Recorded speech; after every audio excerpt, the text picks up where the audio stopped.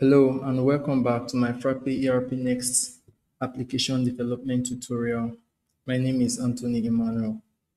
Um, this time I'm here to show you um, an admin LTE based on Vue.js framework. There are instances where you would need to deploy a web portal for your Frappe apps, but sometimes it's really important to host it outside of the environment. You may want a complete separation between the server hosting the data and the access points. For that, I've actually worked on this admin LTE based on Vue framework with the necessary access to Frappe APIs. Um, first off, um, before the demonstration, I have the demonstration here to show you, but we're going to um, first explain what is required to run this application. First off, it is based on Vue.js version 3. Um, it's very simple to use, Vue.js. Then um, the admin LTE version 3 dashboard, admin dashboard, and the Frappe framework itself, the Frappe framework. So these three has been, you know, worked together to produce the admin dashboard and I call the admin dashboard the Frappe Vue admin LTE. You can get it from this link and try to run it. The installation information is clearly stated here. You can read through it and be able to set it up. And also it depends on an application, the Frappe application called Frappe Auth it's just a very simple application that you install, then add this to allow calls to your site's configuration. First, we can have a demonstration of how it works. First off, we have this instance, okay, not here. Okay, we have the login environment the authentication has already been automatically set up. You don't need to, and it works with JSON um, token, token based authentication. All you have to do is just to log in, and from there on, the site will keep working with token, just as explained in Frappe framework. You have the authentication, token based authentication. Okay, I'm going to log in. I'm feeding the wrong passwords and this test is based on a live instance defined here. So I'm filling in the wrong password and if the password is wrong, you get a message invalid credential. Or if it is right, you get logged into the system.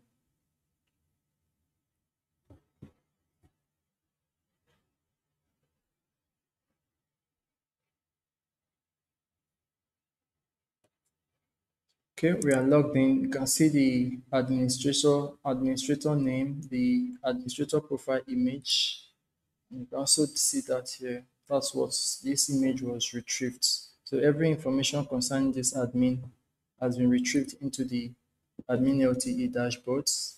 You go to the profile. You can always edit it to add the necessary information. So the routing is completely rerouting. There is no reloads. But what I really worked on here is the fetching Frappe doc types. The doc types fetching is inbuilt by default into this Frappe admin. So we have this, for example, you have this sales invoice. You have 351 sales invoice. Here is a kind of is a duplicated data, so you mostly say the amount is the same. So the invoice on its own. I click on my invoices um, this is a reusable component that can be used for any of your doc type. Um, it fetch the complete, or you can specify it based on the explanation how, uh, based on this, you don't need to write any of this already inbuilt into this admin. So I'm going to open any of them. Um, this 351, you get the detail of the items in it. You can also check that from the sales invoice in Frappe 351.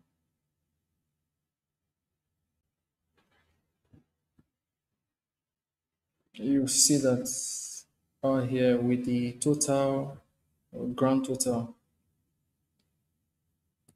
That is exactly what we have here. You can always edit this component to suit your needs. The same here. Then another important thing is that you can actually get the print, the print format, just like you have it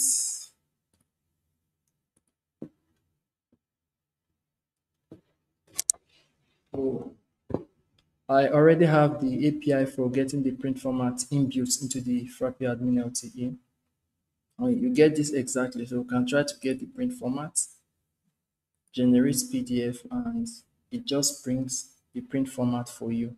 You can see there's no difference between what you have here and what you have in the ERP next. It automatically picks the invoice, the print format you have, and you can specify the print format based on what I have explained in this API. Okay, um, what other feature can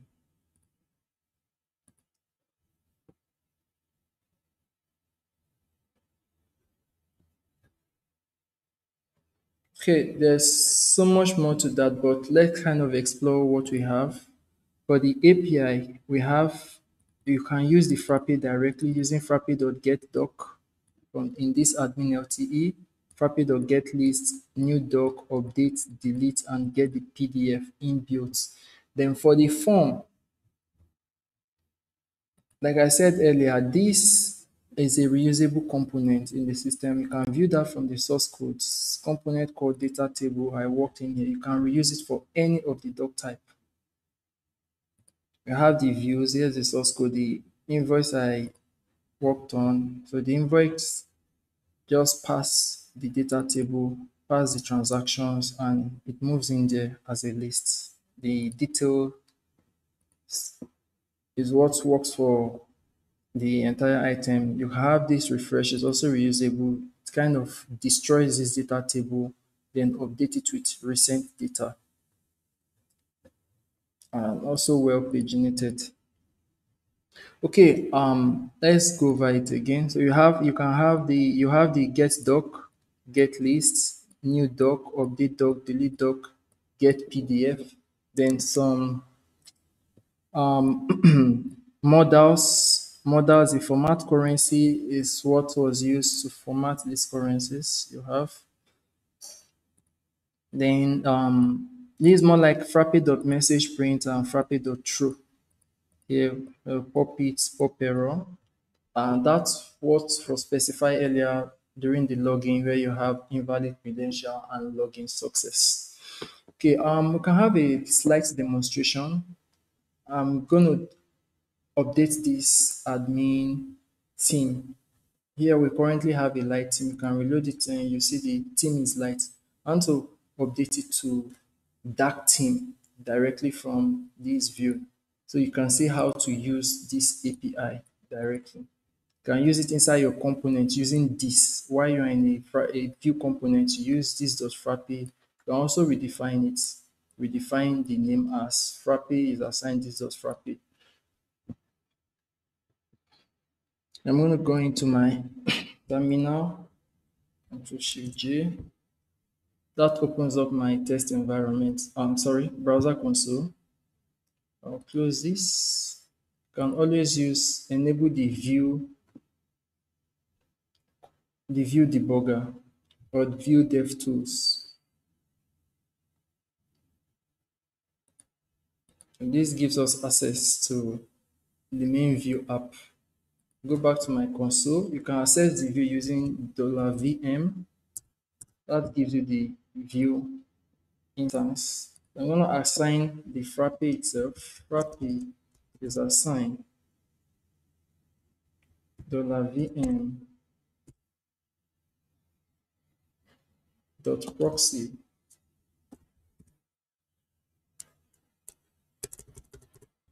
dollar proxy yeah, that's Frappe.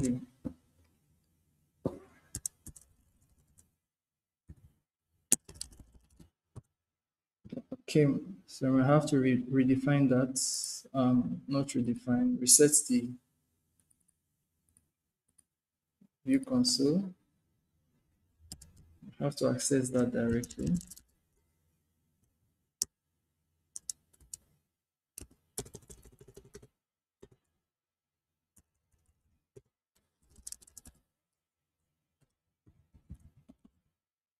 Okay. Okay, with that, we've gotten the Frappe instance. Can use that Frappe to update administrator.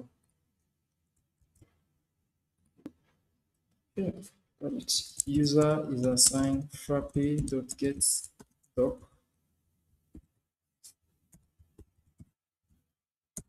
User and the name of the document. Administrator. Okay. It's an await, it's async await.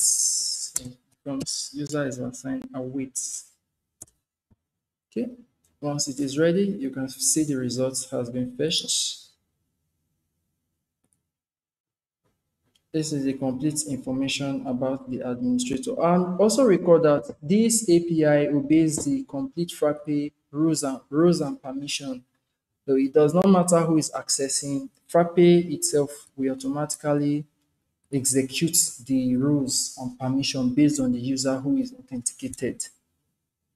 Okay, um, the admin this admin cannot be accessed by a user that does not have the role to access this admin. If you do that from here, you would not get this data back. You will get the restriction, either the 401 unauthorized. Okay, and here we have user dot data dot desk theme is light.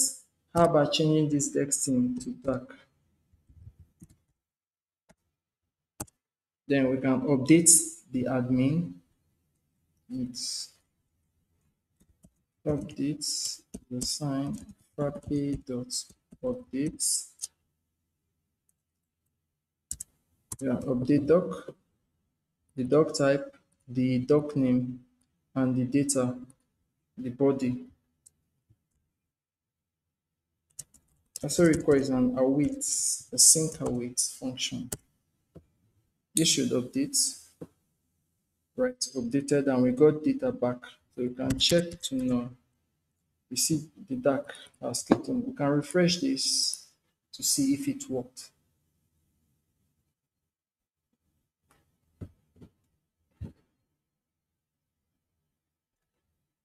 now you see the admin team is already dark because our API updated the admin instance you can also see the lockdown here. Administrator, um, yeah, updated. Administrator change value of desk theme from light to dark just now. Can always access the Frappe dot, just like we referenced in the API, the get doc, get list, new doc, update doc. You can try the get list here to see what we get.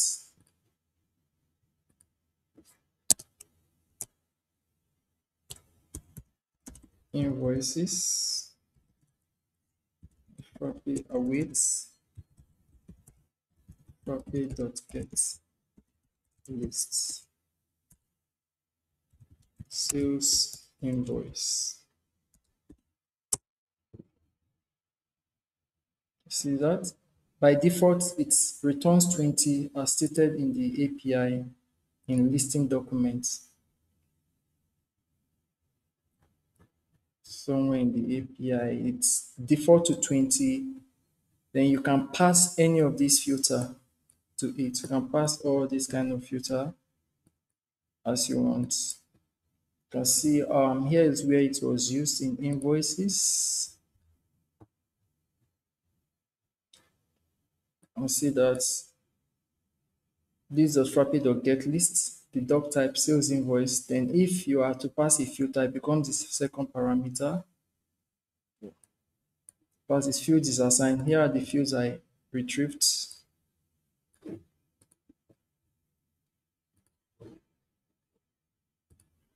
You can see the fields name, title, status, grand total, modified.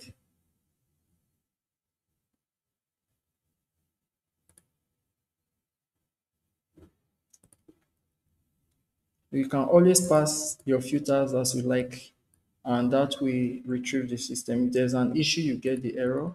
message. If it's correct, this gets pushed into the data table. Okay, that just is for the now. You can always read through the documentation on how to. It's just it's almost 100% JavaScript. Okay, and one other thing to install it, all you have to do is get this, download this, this repository. Then you have, there's a particular file you have to configure, and the file is this app config dot app dot app config.json stated in the description on how to install it, the app.json. You can open it. Um, it is not secure to just pass the name of the URL directly. You can use the process.environment to pass the value here. This is a Frappe authentication app, except you have your own custom authentication app that works, but you have to install this authentication app for the first login. That's what works on the login. So then this specify your Frappe or ERP next instance.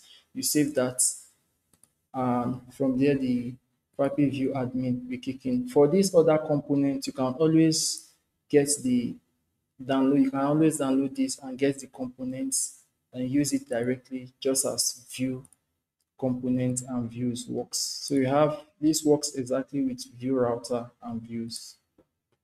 Okay, thank you. I hope you kind of understand what went on here. If you have difficulty in understanding, you can still drop a message and be glad to respond to you. and also, if you have um, other questions to ask, you can always drop me a chat on my website at ghorz.com.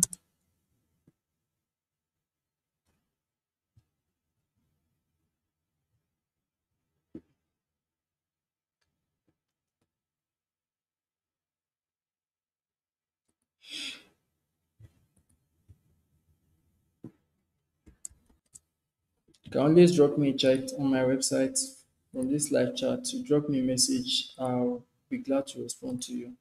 So thanks for checking up and hope you really do enjoy it. Please like and subscribe to my channel. There's more video coming that will really help your Frappe and ERP Next application development journey. Thank you.